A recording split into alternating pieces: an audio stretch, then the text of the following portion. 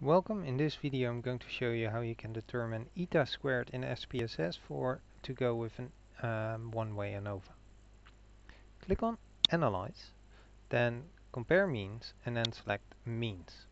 Not the one-way ANOVA because I haven't found a way where to actually get then eta squared. So go for Means, select the variable on which you want to split by, which is usually called the factor, but okay, move it to the independent list and then on which you want to actually calculate the averages from or the means in this case 6.1 the grade move that to the dependent list.